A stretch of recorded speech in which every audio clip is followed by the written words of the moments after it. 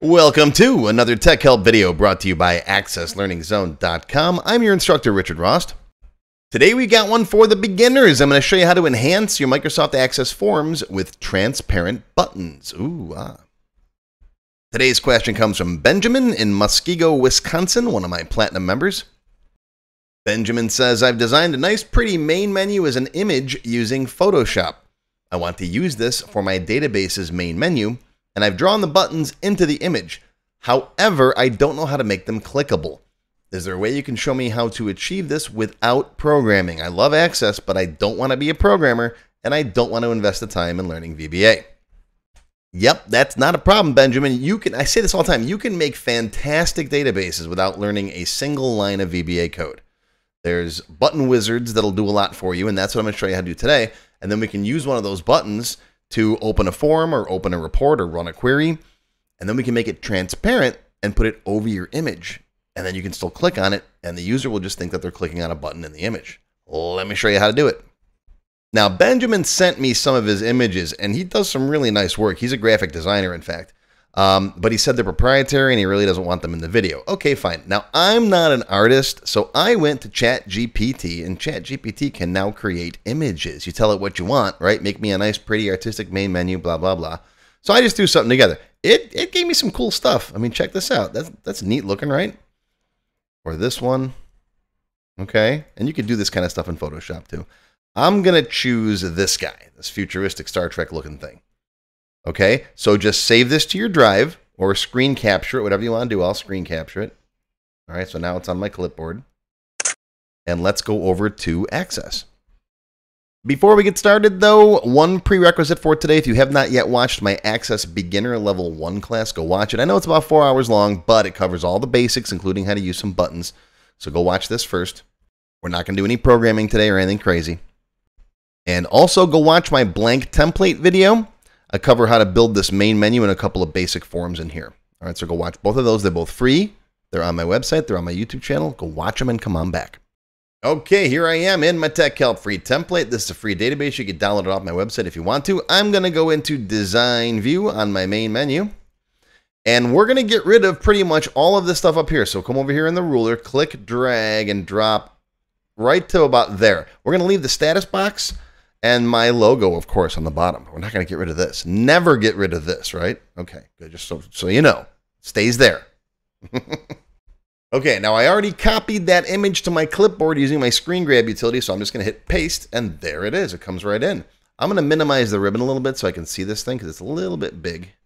You can resize and rescale this stuff too if you want to. Okay? In fact, yeah, I think I'm going to undo that. I'm going to scale it in my software so it fits in the window here. Like I said, I use HyperSnap. It's an older application, but it's been around forever. I'm going to scale it down to about 80% of its size. So let's go in here and put 80 and then apply. And that looks good. That's a good size. All right, now we'll copy it, Control C. And then we'll come back in here and paste it. All right, that's much better. Looks good. All right, now I want to send this image so it's behind everything else because I got some other stuff on here. So I'm going to right click. I'm going to go to position and then send to back. That'll put you behind everything else. All right, access learning zone can come. Okay, uh, now see here's here's one thing that happens sometimes. Notice how I have selected this image, and even though it's behind stuff, if I try to click on this stuff, it's not leaving the selection of that image. So you got to click over here off of it. I know it's a quirk in access.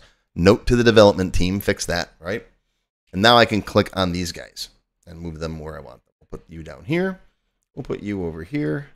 And to match the motif, let's go with the black background and maybe white text. That's our status box. I cover that in some other lessons. Okay, now this and let's say this are going to be buttons, and you can make buttons over whatever you want, but let's say these are our buttons, okay?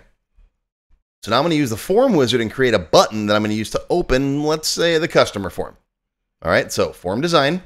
Go to your command button. Make sure your wizards are on, by the way. Right here, use control wizards. Make sure that's on. If you go to create a button and nothing happens, your wizards are off. Usually on my development machine, I leave the wizards off because I don't use them. But for my teaching machine, this one, I do leave them on for you guys. All right, so pick the command button or just button. Drop it anywhere you want, like there. The wizard starts up. There's tons and tons of stuff in here. I cover these in my full courses. But for today, we're going to go to form operations, open a form. Next. What form do you want to open? Let's open the customer form. Next. Open the form and find specific data to display or show all the records. We'll just show all the records for now. I'm just going to put a text message on here, but we're not going to see it anyways. But in design mode, you'll see this, right? Open customers. Hit next. All right. Give it a name. Open customer BTN for button. And then finish. All right. There's my open customers button. Now I'm going to drag it so that it covers that entire thing right there. So if the user clicks anywhere in here, it's going to click that button. All right, now if I save the form and close it and open it back up again, I got a button right here to open my main menu, or it's right there, main menu F. All right, there's the button. I can click on it. There's my customer form. Okay, but I don't want to see this button here. I want to use the image behind it. So we're going to make that button transparent. All right, right click on it, go down to properties. That brings up the property sheet. Find transparent right there. We're going to set transparent to yes, and it appears to disappear. Look at that. It appears to disappear.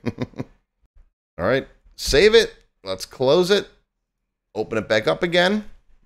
And now I can click on add customer. Boop, and there it is. That's pushing that button. All right, want to do something else? Come in here, design view, go back to here, make a button, drop it over here. What do you want to do this time? I don't know. Let's uh, open a different form. Open. Let's open up the uh, customer list F. Next. Finish. And then take this and go like that and open up its properties and go transparent. And now you got two buttons on there. Close it, save it, open it, click over here. Boom, there's your customer list. See that? And that's how you use transparent buttons. They're pretty cool. If you want to learn more about this cool form stuff, including more with transparent buttons and making a custom main menu, continuous forms, all this kind of stuff, it's in my Access Beginner Level 7 class. You'll find that on my website. I'll put a link to it down below. All kinds of cool stuff in here. All right, neat form design, main menu tricks, all kinds of stuff. And that is going to be your tech help video for today. I hope you learned something. Live long and prosper, my friends. I'll see you next time. If you enjoyed this video, please give me a thumbs up and post any comments you may have below. I do try to read and answer all of them as soon as I can. Make sure you subscribe to my channel, which is completely free. Click the bell icon and select all to receive notifications when new videos are posted. Want to learn more? Click the show more link below the video to find additional resources and links. YouTube does a pretty good job of hiding it. It's right down there. See this part of the description here, right? The name, the video's up here. There's a little show more down there, right down the bottom.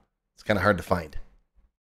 But once you click on that, you'll see a list of other videos, additional information related to the current topic, free lessons, and lots more. And YouTube no longer sends out email notifications when new videos are posted like they used to do.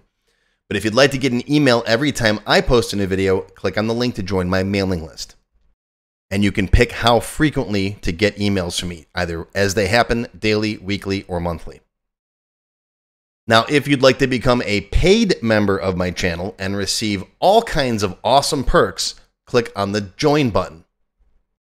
You'll see a list of all the different membership levels that are available, each with its own special perks, including my extended cut videos access to my code vault, lots of VBA source code in there, template downloads, and lots more. I'll talk more about these perks at the end of the video.